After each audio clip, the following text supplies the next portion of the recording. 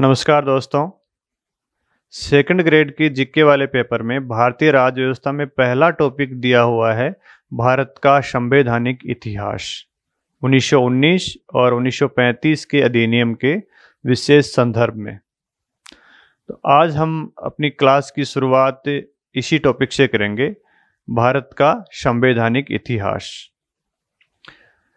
आप जानते हो, भारत के संविधान का निर्माण किसी एक निश्चित अवधि में नहीं हुआ है, बल्कि ये कर्मिक विकास का परिणाम है, जो ब्रिटिश शासन के दौरान धीमी गति से हुआ है।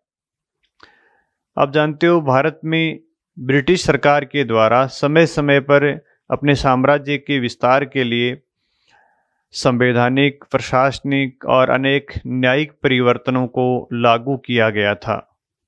इन परिवर्तनों को लागू करने का मुख्य उद्देश्य था कि अपने साम्राज्य को शक्तिशाली बनाना।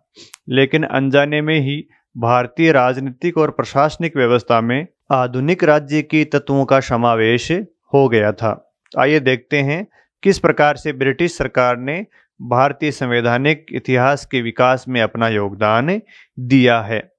भारतीय संवैधानिक विकास को हम दो चरणों के माध्यम से देखेंगे। भारतीय संवैधानिक विकास को हम दो चरणों में बांट सकते हैं। आइए देखते हैं। भारत का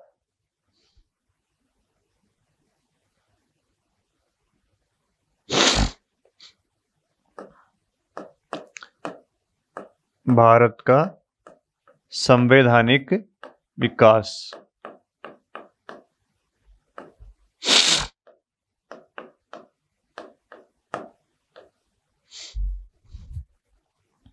भारत के संवैधानिक विकास को हम दो चरणों में देखने का प्रयास करेंगे। कंपनी शासन के अधीन, कंपनी शासन के अधीन,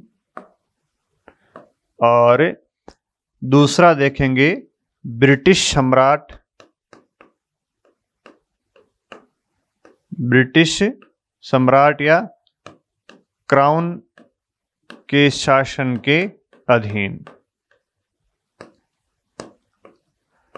भारत के संवैधानिक विकास को हमने दो भागों में क्यों बांटा है, इस पर हम पहले चर्चा कर लेते हैं कि कंपनी शासन के अधीन कैसे भारत का संवैधानिक विकास हुआ है और ब्रिटिश क्राउन के शासन के अधीन कैसे भारत के संविधान का विकास हुआ है। आप जानते हो, सोलह सौ ईस्वी के लगभग भारत में एक कंपनी आई थी जिसका नाम है ईस्ट इंडिया कंपनी। ब्रिटेन की महारानी ने एक चार्टर के माध्यम से 15 वर्ष तक इस कंपनी को भारत में व्यापार करने की अनुमति दी थी।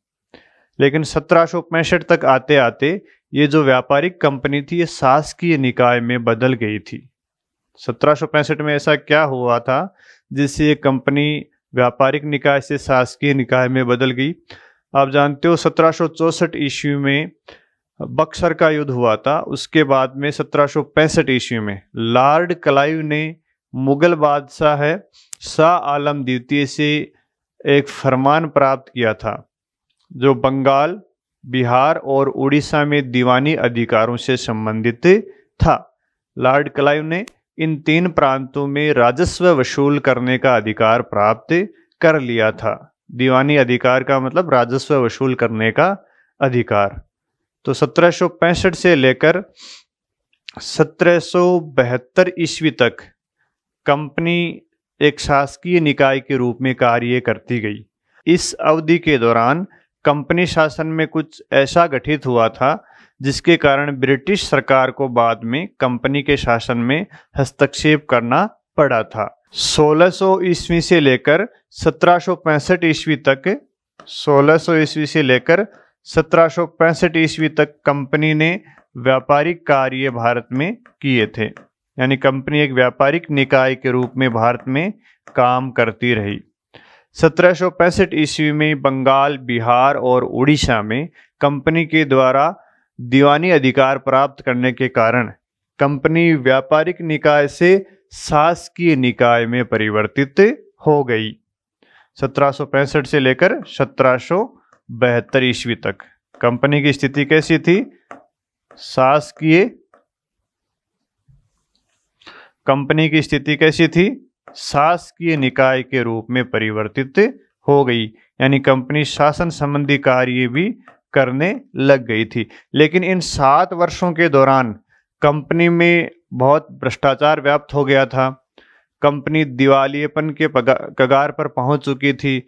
और कंपनी के जो कर्मचारी काम करते थे, अंग्रेज़ अधिकारी, वो मालामाल हो रहे थे और कंपनी के पास चूँकि राजस्व वसूल करने का अधिकार था तो इसलिए कंपनी ने किसानों को बहुत ज़्यादा मात्रा में राजस्व वसूल करके उनका शोषण करना शुरू कर दिया था। तो इस प्रकार की स्थिति कंपनी की इन सात वर्षों में हो गई थी। तो इसलिए ब्रिटिश सरकार के द्वारा इस कंपनी पर नियंत्रण करने का प्रयास किया गया था। और ब्रिटिश सरकार ने इस कंपनी पर नियंत्रण करने के लिए विभिन्न प्रकार के अधिनियम और चार्टर एक्ट बनाए थे। तो देखते हैं, ब्रिटिश सरकार के द्वारा कंपनी के शासन को नियंत्रित करने के लिए क्या क्या चार्टर एक्ट और अधिनियमों का निर्माण किया गया था। पहला जो एक्ट बनाया गया था कंपनी के ऊपर नियंत्रण करने के लिए ब्रिटिश सरकार ने उसका नाम है रेगुलेटिंग एक्ट। पहले एक्ट का क्या नाम है? Regulating act. Regulating act 1900 regulating act सत्रह ईस्वी में। तो ब्रिटिश सरकार ने कंपनी के कार्यों को नियंत्रित करने के लिए सबसे पहला जो एक्ट बनाया था उसका नाम है रेगुलेटिंग एक्ट सत्रह सौ तिहत्तर। प्रत्येक 20 साल के बाद में ब्रिटिश सरकार ने कंपनी के शासन को नियंत्रित करने के लिए अधिनियम बनाए थे। तो सत्रह सौ तिहत्तर के बाद में अगला जो एक्ट बनेगा वो बनेगा सत्रह सौ तिरानवे में 20 साल के बाद में। इसका नाम है charter act. Charter act. Charter act के अगले 20 साल 1813 ईस्वी में तो ये दो, तीसरा चार्टर एक्ट बना था। और अगला जो एक्ट बना था, चार्टर एक्ट बना था, वो बना था 1833 ईस्वी में। और उसके बाद में अगला जो चार्टर एक्ट बना था ब्रिटिश सरकार के द्वारा जो एक्ट बनाए जाते थे, उनको चार्टर एक्ट बोलते थे। वो अगले 20 साल बाद में अठारह ब्रिटिश सरकार के द्वारा कंपनी शासन को नियंत्रित करने के लिए, क्योंकि ईस्ट इंडिया कंपनी का भारत पर प्रशासनिक और व्यापारिक नियंत्रण था तो उसको नियंत्रित करने के लिए ब्रिटिश सरकार के द्वारा सत्रह सौ तिहत्तर ईस्वी से लेकर, यानी रेगुलेटिंग एक्ट से लेकर अठारह सौ तिरपन तक ये कानून बनाए थे। दूसरे प्रकार के जो कानून बनाए थे ब्रिटिश सरकार ने, वो ब्रिटिश क्राउन के शासन के अधीन बनाए थे। भाई, ऐसा यहाँ नाम क्यों लिखा हुआ है? क्योंकि आप जानते हो, अठारह में भारत में ब्रिटिश कंपनी के विरुद्ध विद्रोह हुआ था। और विद्रोह इसलिए हुआ था क्योंकि उन्होंने भारतीयों का राजनीतिक, सामाजिक और आर्थिक रूप से शोषण किया था। इसलिए भारतीयों ने ब्रिटिश ईस्ट इंडिया कंपनी के विरुद्ध विद्रोह कर दिया था। और विद्रोह के कारण, विद्रोह का परिणाम ये निकला कि भारत का शासन ब्रिटिश ईस्ट इंडिया कंपनी से लेकर ब्रिटेन की सरकार ने ब्रिटिश क्राउन को सौंप दिया था। इस विद्रोह का परिणाम ये निकला कि भारत का जो नियंत्रण ईस्ट इंडिया कंपनी के पास था, वो सम्राट के हाथ में चला गया। तो अठारह सौ अट्ठावन से लेकर उन्नीस सौ सैंतालीस तक भारत का शासन ब्रिटिश क्राउन के अधीन चलता रहा था। और इस दौरान क्या हुआ? भारत में शिक्षा का प्रसार हुआ। शिक्षा का प्रसार होने के कारण भारत में राजनीतिक चेतना आई और राजनीतिक चेतना आने के कारण भारतीयों ने शासन में सुधार और अपने लिए अधिकारों की मांग शुरू कर दी थी। तो भारतीयों के द्वारा राजनीतिक अधिकारों की मांग करने और ब्रिटिश क्राउन के अधीन अपने शासन को सुचारू रूप से चलाने के लिए ब्रिटिश संसद के द्वारा विभिन्न प्रकार के अधिनियम बनाए गए थे। तो वो कौन कौन से अधिनियम थे देखिए, ब्रिटिश क्राउन के शासन के अधीन पहला बना था अधिनियम भारत शासन अधिनियम, भारत शासन अधिनियम। अठारह पहला अधिनियम बना था अठारह इस अधिनियम के माध्यम से ही ब्रिटिश सरकार ने कंपनी के शासन को समाप्त करके भारत के शासन को सीधे ब्रिटिश क्राउन के अधीन कर दिया था। दूसरा बना था अधिनियम, भारत परिषद अधिनियम। भारत परिषद अधिनियम अठारह में।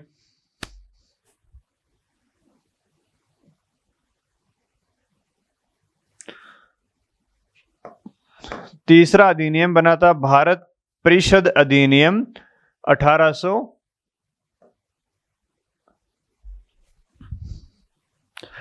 बानवे में, अठारह बानवे में। चौथा अधिनियम बना था भारत परिषद अधिनियम 1909 में। और पांचवा अधिनियम बना था भारत सरकार अधिनियम 1919 भारत सरकार अधिनियम 1919 और छठा अधिनियम बना था भारत सरकार अधिनियम 1935 तो ब्रिटिश क्राउन के अधीन जब भारत का शासन था तो ये छह अधिनियम बने थे। जिसमें अठारह सौ अट्ठावन का भारत शासन अधिनियम, भारत परिषद अधिनियम अठारह भारत परिषद अधिनियम अठारह भारत परिषद अधिनियम 1909 तो इन तीन अधिनियमों का तो क्या नाम था? भारत परिषद अधिनियम। और जो चौथा और पांचवा और जो छठा अधिनियम था, उसका नाम था भारत सरकार अधिनियम या भारत शासन अधिनियम 1935 इसका क्या नाम है? भारत शासन अधिनियम। भारत शासन अधिनियम 1919 और भारत शासन अधिनियम 1935 तो ब्रिटिश सरकार ने भारत में समय समय पर विभिन्न प्रकार के अधिनियमों का निर्माण किया था। ब्रिटिश सरकार ने जब इस प्रकार के अधिनियम बनाए तो इन अधिनियमों के द्वारा समय समय पर भारतीय राजनीतिक और प्रशासनिक व्यवस्था में ऐसे तत्व शामिल होते गए, जिसने भारतीय संविधान के निर्माण में बहुत बड़ा योगदान दिया था। जैसे हम कुछ उदाहरण देखें, इन अधिनियमों के द्वारा, ब्रिटेन के द्वारा भारत में मंत्रिमंडलीय शासन प्रणाली की स्थापना की गई थी। इन अधिनियमों के द्वारा अध्यादेश जारी करने की गवर्नर की शक्ति ब्रिटिश सरकार के द्वारा अपने गवर्नरों को दी गई थी। संसदीय शासन प्रणाली इस अधिनियमों के द्वारा लागू की गई थी। अध्यादेश जारी करने की शक्तियाँ दी गई थी, आपातकालीन संबंधी प्रावधान दिए गए थे, संघीय शासन संबंधी प्रावधान दिए गए थे। इन अधिनियमों में ही लोक सेवा आयोग की स्थापना की गई थी। तो इस प्रकार अनेक ऐसे तत्व भारतीय शासन में ब्रिटेन द्वारा इन अधिनियमों के द्वारा लागू किए गए थे, जिससे भारत के संविधान निर्माण में बहुत बड़ा प्रभाव पड़ा था। जो प्रावधान भारतीय संविधान में हैं वो किसी एक्ट में ज़रूर ब्रिटिश सरकार के द्वारा लागू किए गए हैं। जैसे आपातकाल हो, लोक सेवा आयोग हो, संसदीय शासन प्रणाली हो, संघात्मक शासन प्रणाली हो, लोक उच्चतम न्यायालय हो तो इस सारे जो प्रावधान हैं, भारतीय संविधान में दिए गए हैं, वो कहीं न कहीं जब अब इन अधिनियमों को पढ़ेंगे तो इन अधिनियमों में हमें ज़रूर वो मिलेंगे। और जब वो इस प्रकार के प्रावधान आएँगे तो हम उस बात पर चर्चा भी करेंगे। तो अब हम इन अधिनियम और इन चार्टर एक्ट में इस प्रकार के जो प्रावधान दिए गए हैं, जिन प्रावधानों से भारतीय संविधान के इतिहास का पता चलता है, भारतीय संविधान के इतिहास के विकास में योगदान मिलता है केवल हम उन्हीं प्रावधानों पर चर्चा करेंगे, क्योंकि कोई भी चार्टर एक्ट है या कोई भी अधिनियम है, इसमें बहुत सारी बातें शामिल की गई थी। तो हमारे विषय से संबंधित, हमारे सिलेबस से संबंधित जो जो बातें हैं, उन पर हम यहाँ पे चर्चा करेंगे। तो सबसे पहले अपन जो पहला चरण है, उसमें जो अधिनियम और चार्टर एक्ट बनाए गए हैं, इनके बारे में बात करेंगे। फिर अगली क्लास में हम ये ब्रिटिश क्राउन के शासन के अधीन जो अधिनियम बनाए गए थे, उन पर हम चर्चा करेंगे। सेकंड ग्रेड का जो सिलेबस है, उसमें लिखा हुआ है कि भारत का संवैधानिक विकास भैया भारत का संवैधानिक इतिहास 1919 और 1935 के अधिनियम के विशेष संदर्भ में। तो यहाँ दो अधिनियमों का विशेष रूप से उल्लेख किया गया है 1919 का अधिनियम और 1935 का अधिनियम। तो इन अधिनियमों को हम विस्तार से पढ़ेंगे। इससे पहले जो अधिनियम दिए गए हैं, इनकी भी हम चर्चा करेंगे, क्योंकि कई बार इनसे संबंधित प्रश्न एक आध प्रश्न पूछ लिया जाता है, क्योंकि टॉपिक का ही नाम है भारत का संवैधानिक इतिहास तो उसमें ये भी शामिल हो जाते हैं। इधर से सवाल पूछने का थोड़ा सा कम रहता है, और इन अधिनियमों को हम इसलिए पढ़ेंगे क्योंकि एक सीक्वेंस बन जाएगा कि British East India company Bharat में आई और कैसे उन्होंने भारत के संवैधानिक विकास में योगदान दिया। तो इधर से सवाल पूछने की संभावना कम है लेकिन पूछे जा सकते हैं। तो एक सीक्वेंस एक क्रम बनाने के लिए हम रेग, रेगुलेटिंग एक्ट से पढ़ने की शुरुआत करेंगे और आज की क्लास में हम चार्टर एक्ट अठारह सौ तिरपन तक अध्ययन करेंगे। तो आइए देखते हैं रेगुलेटिंग एक्ट में कौन कौन से प्रावधान ब्रिटिश सरकार के द्वारा कंपनी के शासन को नियंत्रित करने के लिए किए गए थे। पहला अधिनियम है regulating act regulating act regulating act सत्रह सौ तिहत्तर ईस्वी।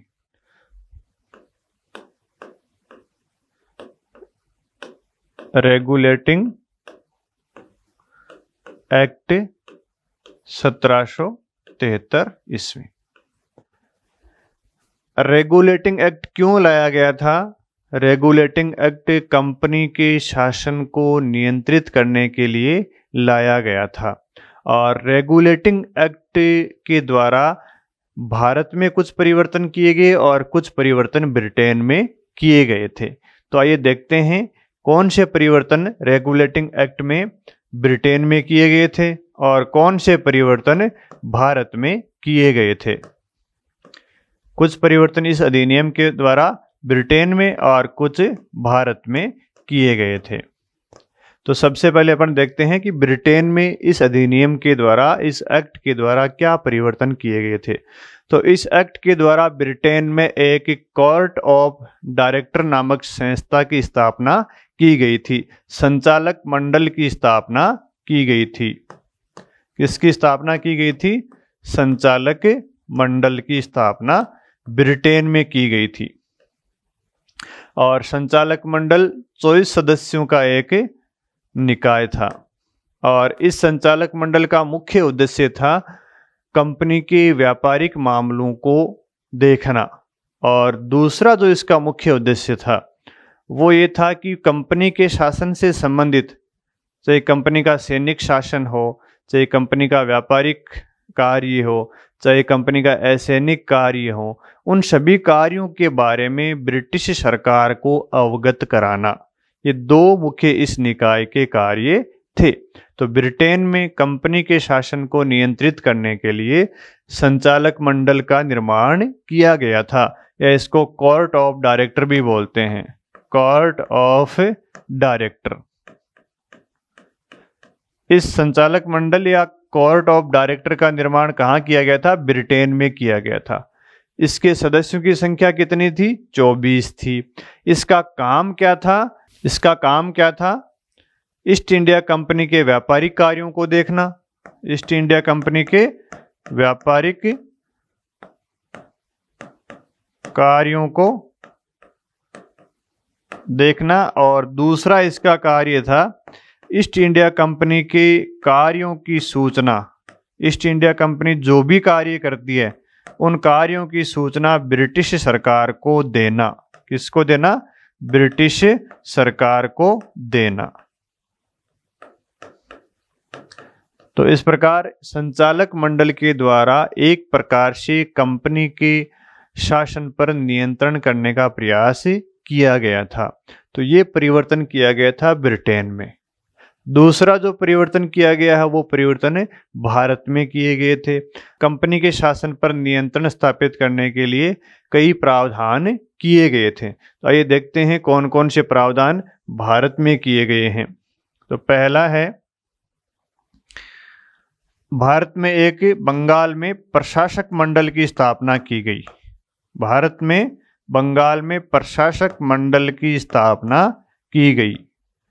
और दूसरा, भारत में सुप्रीम कोर्ट की स्थापना की गई। इस अधिनियम के द्वारा भारत में सुप्रीम कोर्ट की स्थापना कलकत्ता में की गई थी। और तीसरा परिवर्तन किया गया था बंगाल के गवर्नर से संबंधित। बंगाल के गवर्नर से संबंधित। तो इस अधिनियम के द्वारा जो भारत में परिवर्तन किए गए थे, उसमें पहला है प्रशासक मंडल की स्थापना करना। प्रशासक मंडल में क्या प्रावधान किया गया था?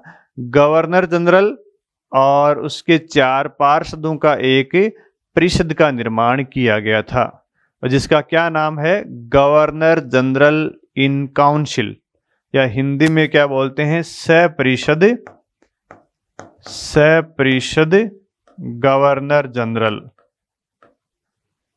इस परिषद का निर्माण रेगुलेटिंग एक्ट के द्वारा बंगाल में किया गया था। ये परिवर्तन कहाँ किया गया था? बंगाल में, यानी भारत में ये परिवर्तन किया गया था। बंगाल में एक गवर्नर जनरल की काउंसिल का निर्माण किया गया था, जिसमें एक गवर्नर जनरल और चार अन्य पार्षद होते थे। यानी सदस्यों की संख्या कितनी थी? गवर्नर प्लस चार। तो इन सदस्यों से मिलकर सपरिषद गवर्नर जनरल का निर्माण किया गया था। सपरिषद गवर्नर जनरल का कार्य क्या था? ये तो इसका संगठन हो गया। इसका कार्य क्या था? इसके दो कार्य थे। एक तो कंपनी के प्रशासन को चलाना और दूसरा इसका कार्य था कानूनों का निर्माण करना। पहला कार्य था कंपनी का भारत में प्रशासन चलाना। कंपनी का भारत में प्रशासन चलाना। और इसका दूसरा कार्य था कानूनों का निर्माण करना, कानून का निर्माण करना। तो ये दो कार्य सत्रह सौ तिहत्तर के रेगुलेटिंग एक्ट के द्वारा जो सपरिषद गवर्नर जनरल का निर्माण किया गया था, चार सदस्य, उसके ये दो कार्य थे। तो ये परिवर्तन किया गया था भारत में। तो भारत में प्रशासक मंडल की स्थापना की गई, जिसमें सपरिषद गवर्नर जनरल का निर्माण किया गया था, जो चार सदस्यीय निकाय था। फिर भारत में दूसरा परिवर्तन क्या किया गया था? भारत में सुप्रीम कोर्ट की स्थापना कलकत्ता में रेगुलेटिंग एक्ट के द्वारा की गई थी। और इस सुप्रीम कोर्ट का क्षेत्राधिकार कंपनी में काम करने वाले सभी कर्मचारियों पर था। जो भी कर्मचारी कंपनी में काम करता है, उन सभी कर्मचारियों पर इस कोर्ट का क्षेत्राधिकार था। और इस सुप्रीम कोर्ट के कार्य आधुनिक ब्रिटिश न्याय व्यवस्था के अनुसार चलते थे। तो हमने जब कहा था आपको कि विभिन्न अधिनियमों के द्वारा ऐसी व्यवस्थाएँ ब्रिटिश सरकार के द्वारा समय समय पर की गई, जिसका प्रभाव भारत के संविधान के विकास पर पड़ा है। तो यहाँ से देखिए, सुप्रीम कोर्ट का निर्माण किया गया और सुप्रीम कोर्ट का जो कार्य था, वो आधुनिक ब्रिटिश न्याय व्यवस्था पर आधारित था। यानी वादी, परिवादी, वकील, इन सब चीज़ों की व्यवस्था यहाँ कर दी गई थी। और भारत में भी आप जानते हो, सुप्रीम कोर्ट की व्यवस्था है। तो ये चीज़ें भारतीय संविधान में यहीं से उठकर गई हैं। तो रेगुलेटिंग एक्ट के द्वारा सुप्रीम कोर्ट की स्थापना कलकत्ता में की गई थी। फिर तीसरा जो परिवर्तन किया गया था भारत में, वो बंगाल के गवर्नर से संबंधित था। इस अधिनियम के द्वारा बंगाल के गवर्नर को बंगाल का गवर्नर जनरल बना दिया। बंगाल के गवर्नर को क्या बना दिया? गवर्नर जनरल बंगाल के गवर्नर को गवर्नर जनरल बना दिया। और पहले गवर्नर जनरल कौन थे बंगाल के? वारेन हेंस्टिक्स थे। कौन थे? वारेन हेंस्टिक्स। वारेन हेंस्टिक्स पहले भारत के, वारेन हेंस्टिक्स बंगाल के पहले गवर्नर जनरल थे। तो इस प्रकार भारत में एक केंद्रीय प्रशासन की नींव इस अधिनियम के द्वारा रखी गई थी। और कंपनी के व्यापारिक और राजनीतिक कार्यों को मान्यता इस अधिनियम के द्वारा दी गई थी। तो ये अधिनियम मूलतः है, कंपनी के शासन को नियंत्रित करने के लिए आया था। इसलिए इसका नाम भी क्या है, देखो, रेगुलेटिंग एक्ट, रेगुलेट करना, नियमत, नियमन करना। रेगुलेट करना, यानी नियमन करना, नियंत्रण करना। तो इस अधिनियम में कुछ खामियाँ थी। उस खामियों को दूर करने के लिए सत्रह सौ चौरासी ईस्वी में पिट्स इंडिया एक्ट आया था। फिर दूसरा एक्ट कौन सा था? Pitt's India act. इस एक्ट को लाने का उद्देश्य क्या था? इस अधिनियम की खामियों को दूर करने के लिए पिट्स इंडिया एक्ट आया था। तो देखते हैं पिट्स इंडिया एक्ट में क्या क्या प्रावधान किए गए थे। Pitt's India act. सत्रह चौरासी ईस्वी में। पिट्स इंडिया एक्ट के द्वारा भारत में पहली बार द्वेद शासन की स्थापना की गई थी। पिट्स इंडिया एक्ट के द्वारा क्या किया गया था? भारत में द्वेद शासन की स्थापना की गई थी। भारत में द्वेद शासन की नींव रखी गई थी। द्वेद शासन की स्थापना कैसे की गई थी देखिए। इस अधिनियम के द्वारा कंपनी पर दोहरा नियंत्रण स्थापित कर दिया था। कंपनी, इस अधिनियम के द्वारा कंपनी पर और अधिक ब्रिटिश सरकार के द्वारा शिकंजा कस लिया गया, जिसमें एक और संस्था का निर्माण कर दिया। एक संस्था का निर्माण तो सत्रह वाले रेगुलेटिंग एक्ट में थी थी, उसका नाम क्या है? Court of director court of director और दूसरी जो संस्था का निर्माण किया गया था, कंपनी के शासन को नियंत्रित करने के लिए, उसका नाम है बोर्ड ऑफ़ कंट्रोल उसका क्या नाम है? बोर्ड ऑफ़ कंट्रोल नियंत्रक मंडल। नियंत्रक मंडल।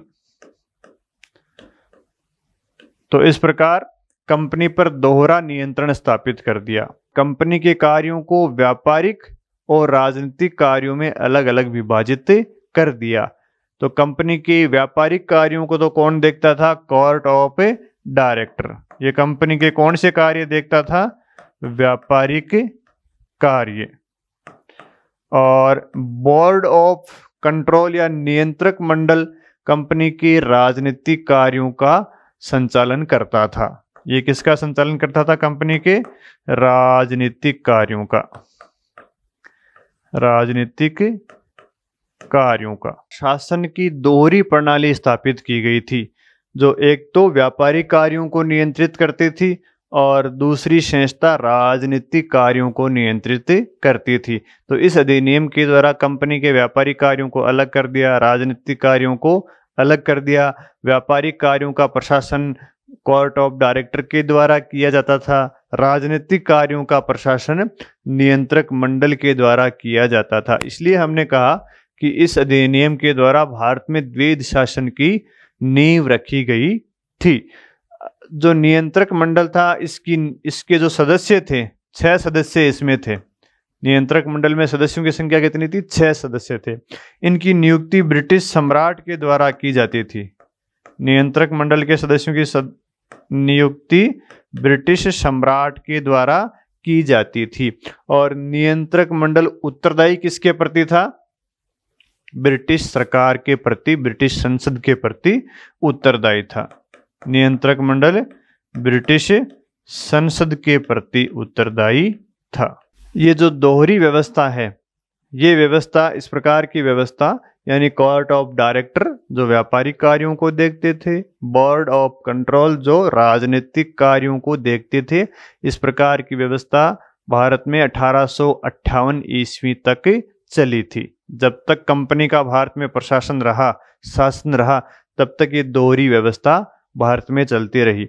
और अठारह सौ अट्ठावन में इन दोनों को समाप्त करके भारत सचिव और उसकी परिषद का निर्माण किया गया था, जिसको हम अठारह के भारत सरकार अधिनियम में देखेंगे। तो पिट्स इंडिया एक्ट के द्वारा कंपनी के शासन पर और ज़्यादा नियंत्रण स्थापित कर लिया गया था। फिर अगला जो अधिनियम है, वो है 1800 अगला जो अधिनियम है वो है सत्रह तिरानवे का जो ज़्यादा महत्वपूर्ण नहीं है। उसके बाद में चार्टर एक्ट 1813 का जो चार्टर एक्ट 1813 चार्टर एक्ट 1813 इस एक्ट के द्वारा जो महत्वपूर्ण प्रावधान किया गया था, वो था कि ब्रिटिश जो ईस्ट इंडिया कंपनी थी, उसका 20 वर्षों तक व्यापारिक अधिकार भारत में बढ़ा दिया गया था। और जो महत्वपूर्ण प्रावधान था, वो था कि इस अधिनियम के द्वारा पहली बार ब्रिटिश साम्राज्य की संवैधानिक स्थिति को स्पष्ट किया गया था। ब्रिटिश साम्राज्य की संवैधानिक स्थिति को स्पष्ट किया गया था।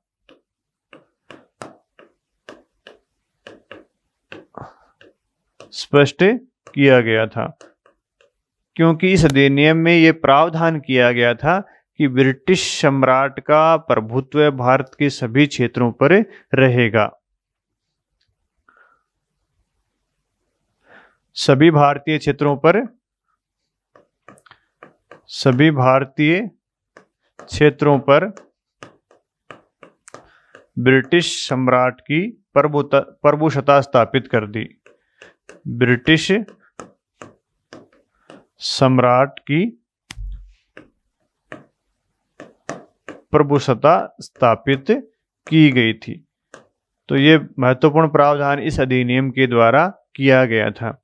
उसके बाद में जो चार्टर एक्ट आता है, इसके 20 वर्ष बाद में, वो कब आएगा? 1833 ईस्वी में। अगला जो चार्टर एक्ट है, वो है चार्टर एक्ट 1833 ईस्वी में। तो इस चार्टर एक्ट के द्वारा क्या प्रावधान किए गए?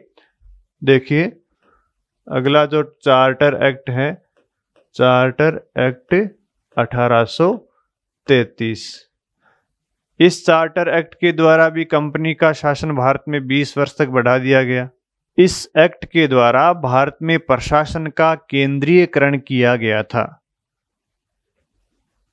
इस एक्ट के द्वारा भारत में प्रशासन का केंद्रीकरण किया गया था। भारत में प्रशासन का केंद्रीकरण किया गया था। और दूसरा जो परिवर्तन किया गया था, वो सपरिषद गवर्नर जनरल में किया गया था। सपरिषद गवर्नर जनरल, यानी गवर्नर जनरल की जो परिषद थी, उसमें परिवर्तन किया गया था।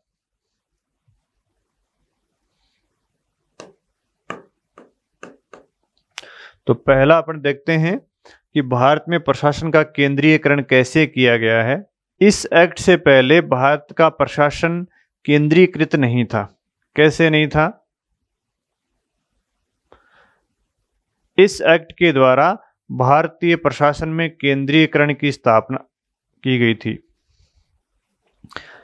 इस एक्ट के द्वारा भारत में केंद्रीय प्रशासन की नींव रखी गई थी। कैसे रखी गई थी? देखो आप जानते हो प्रशासन के विभिन्न काम होते हैं, जैसे कार्यपालिकीय प्रशासकीय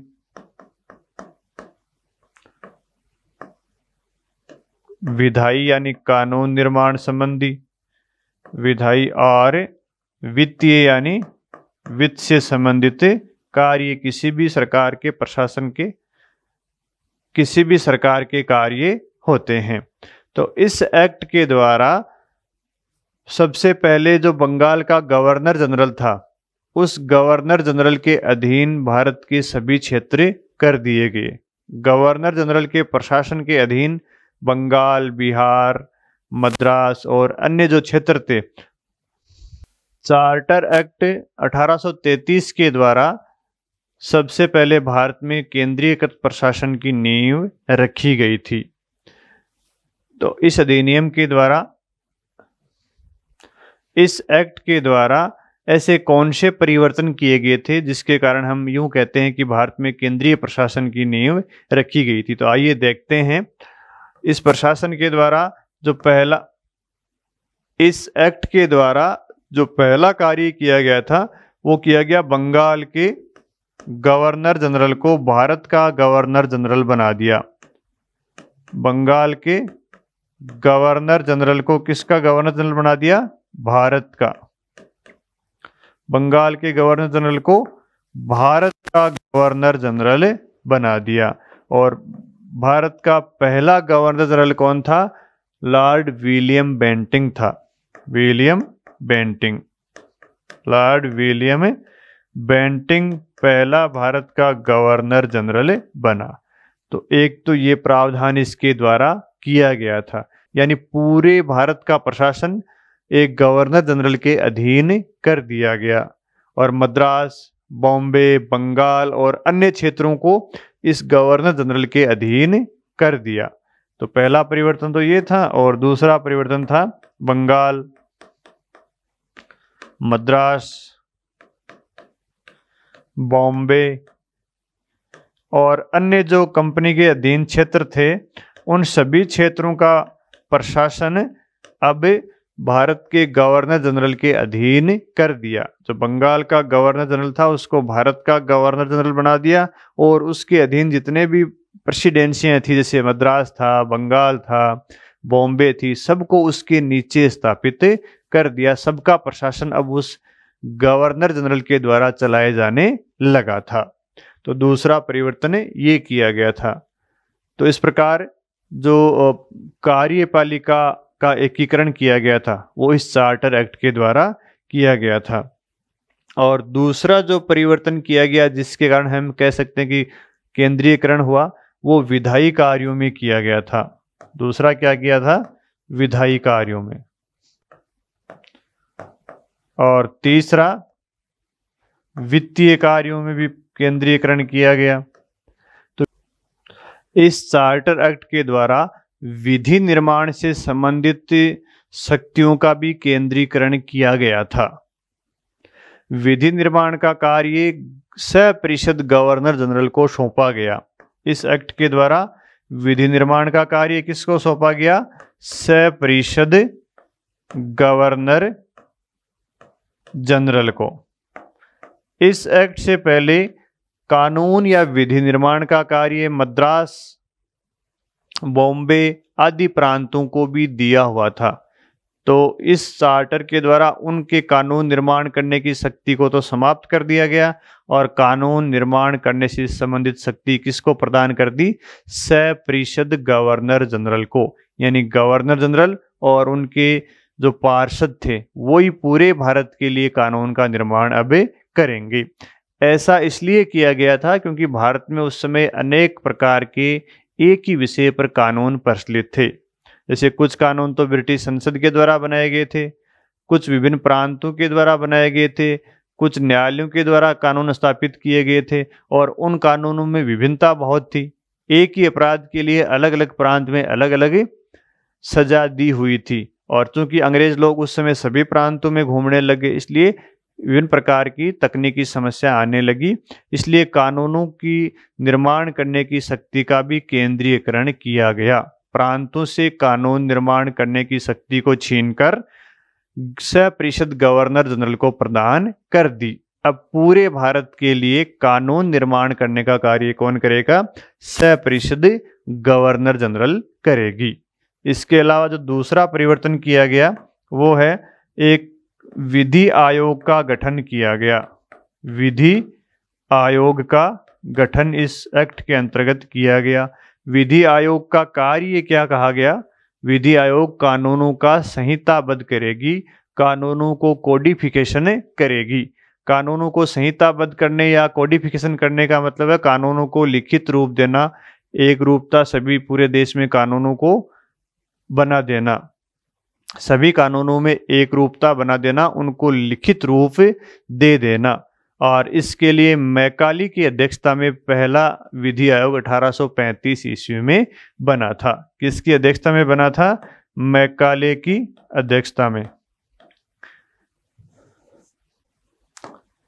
मैकाले की अध्यक्षता में पहला विधि आयोग 1835 ईस्वी में बना था।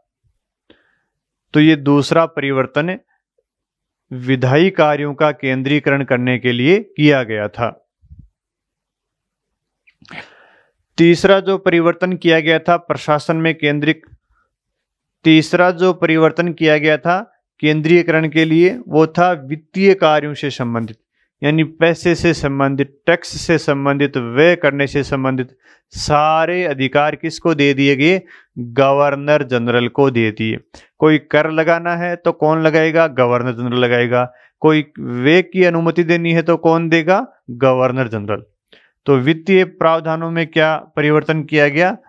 कर लगाने और वे से संबंधित आदेश कौन देगा? Governor general.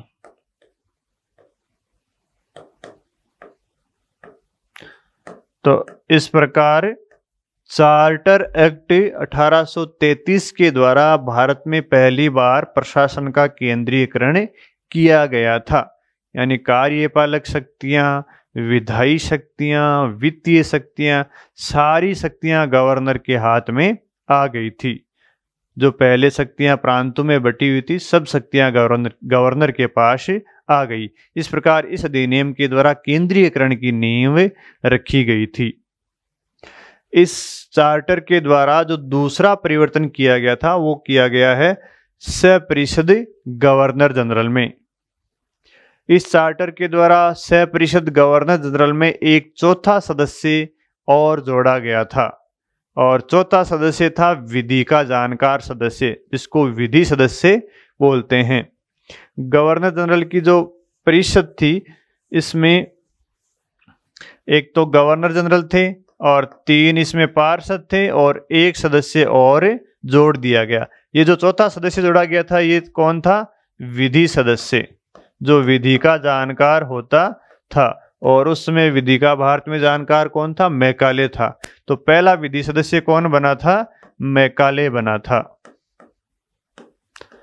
तो ये चौथा सदस्य क्यों जोड़ा गया था? सपरिषद गवर्नर जनरल में, क्योंकि जब भी कानून निर्माण करने के लिए ये संस्था बैठती थी, सपरिषद गवर्नर जनरल तो उसमें ये जो विधि सदस्य था, वो अपनी सलाह देने के लिए बैठता था। विधि सदस्य का काम क्या था? जब सपरिषद गवर्नर जनरल या गवर्नर जनरल की परिषद कानून निर्माण करने से संबंधित कार्य करती थी तो ये विधि सदस्य उनको कानून से संबंधित सलाह देने का कार्य करता था। और वो सदस्य कौन था? पहला मैकाले था। तो इस प्रकार अब हमें इससे ये जानकारी मिलती है कि 1833 तक जो गवर्नर जनरल की परिषद थी वही कानून का निर्माण करती थी और गवर्नर जनरल की परिषद प्रशासनिक या कार्यपालक काम करती थी। यानी इस समय शक्तियों का पृथककरण भारत में नहीं किया गया था। एक ही संस्था कानून का भी निर्माण करती थी और प्रशासन का कार्य भी करती थी। अगला जो चार्टर एक्ट है, वो है अठारह का। तो आइए देखते हैं, अठारह के चार्टर एक्ट में भारत के संवैधानिक विकास से संबंधित क्या प्रावधान किए गए हैं? चार्टर एक्ट अठारह इससे पहले हमने 1833 का जो चार्टर एक्ट देखा था, उससे भारत के संविधान में किस प्रावधान को शामिल किया गया है? केंद्रीयकृत प्रशासन को। तो भारत में भी एक संघ की सरकार है, केंद्रीय सरकार है, जो पूरे भारत पर शासन का नियंत्रण रखती है। तो आइए देखते हैं, चार्टर एक्ट अठारह सौ तिरपन के द्वारा क्या क्या प्रावधान ब्रिटिश सरकार के द्वारा भारत में किए गए थे? तो इस एक्ट के द्वारा जो सबसे बड़ा परिवर्तन किया गया था, वो है भारत में कार्यपालिका और विधायी कार्यों का पृथककरण। इससे पहले जो अपने एक्ट देखा था, चार्टर एक्ट, उसमें हमने ये देखा है कि गवर्नर जनरल की जो परिषद है, वो ही दोनों कार्य करती है। गवर्नर जनरल की परिषद क्या कार्य करती है? विधि निर्माण का कार्य भी करती है और प्रशासन का कार्य भी करती है। लेकिन चार्टर एक्ट अठारह सौ तिरपन के द्वारा भारत में विधायी और कार्यपालिकी कार्यों का पृथककरण कर दिया गया। तो ये सबसे बड़ा परिवर्तन किया गया था। इस एक्ट के द्वारा कार्यपालिकी और विधायी कार्यों का पृथककरण किया गया है। विधायी कार्यों का पृथककरण किया गया है। और दूसरा जो परिवर्तन किया गया था इस एक्ट के द्वारा वो है भारत में प्रशासनिक सेवाओं की स्थापना। प्रशासनिक सेवाओं की स्थापना। तो पहला देखते हैं, कार्यपालिकी एवं विधायी कार्यों का कैसे विभाजन किया गया है, कैसे इसका पृथककरण किया गया है। क्योंकि इस चार्टर एक्ट से पहले 1833 का जो चार्टर एक्ट था, उसमें गवर्नर जनरल की जो परिषद थी, वो विधायी और कार्यपालिकी दोनों कार्य करती थी। और इस एक्ट के द्वारा ये प्रावधान कर दिया कि जब भी गवर्नर जनरल की जो परिषद थी, यानी सह परिषद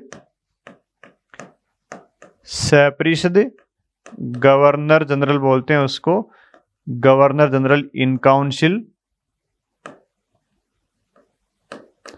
यानी सह गवर्नर जनरल जब भी कानून निर्माण करने का कार्य करेगी तो उसमें छह अतिरिक्त सदस्यों को जोड़ा जाएगा।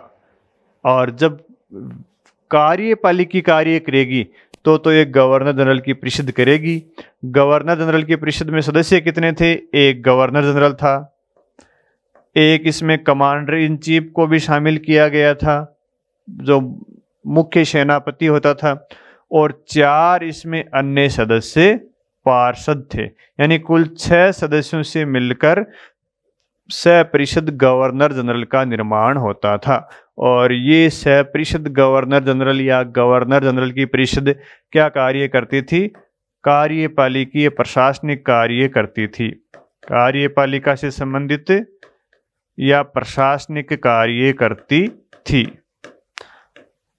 ये तो अठारह के एक्ट से पहले की स्थिति है। और जब अठारह का एक्ट बन गया तो ये जो परिषद है, वो कार्यपालिका कार्य तो अपने करती रही। और जब भी इसको कानून निर्माण करने से संबंधित कार्य करना होता था तो इस परिषद में छह अतिरिक्त सदस्यों को जोड़ा जाता था। कितने सदस्यों को जोड़ा जाता था? छह अतिरिक्त सदस्यों को इसमें जोड़ा जाता था। छह अतिरिक्त सदस्यों को। इन छह अतिरिक्त सदस्यों को कब जोड़ा जाता था गवर्नर जनरल की परिषद में? जब भी गवर्नर जनरल की परिषद कानून निर्माण करने से संबंधित बैठक करती थी, तब ये इसमें छह सदस्यों को और जोड़ दिया जाता था। और ये छह सदस्य कौन होते थे? दो सुप्रीम कोर्ट के जज होते थे और चार प्रांतों के प्रतिनिधि होते थे। दो सदस्य कौन होते थे? सुप्रीम कोर्ट के या अन्य न्यायालय के जज हो सकते थे और चार क्या थे? प्रांतों के प्रतिनिधि। प्रांतों के प्रतिनिधि। तो इस एक्ट के द्वारा एक तो प्रांतों के प्रतिनिधियों को प्रतिनिधित्व दिया गया। प्रांतों के जो प्रतिनिधि थे, उनको भी शासन कार्य में भाग लेने की अनुमति दी गई थी। तो इस प्रकार ये टोटल सदस्य कितने हो गए? छह तो ये हो गए और छह सदस्य ये हो गए। तो ये बारह सदस्यों की एक परिषद का निर्माण इस अधिनियम, इस एक्ट के द्वारा बन गई थी और इसको क्या बोलते हैं? विधान परिषद। ये जो बारह सदस्यों की परिषद बनी, इसका क्या नाम है? विधान परिषद। तो इस एक्ट के द्वारा भारत में पहली बार विधान परिषद का निर्माण किया गया था। विधान परिषद कैसे बनती थी? जब सह परिषद गवर्नर जनरल कानून बनाने से संबंधित कार्य करती थी तो इसमें छह सदस्य और अतिरिक्त जुड़ जाते थे। और ये टोटल हो जाते थे बारह सदस्य। और इन बारह सदस्यों को क्या बोलते थे? विधान परिषद। तो इस अधिनियम की जो दूसरी मुख्य विशेषता है, वो है कि इसमें विधान परिषद का निर्माण भी किया गया। तो इस प्रकार जब गवर्नर जनरल कानून निर्माण करने के लिए बैठते थे तो बारह सदस्य होते थे।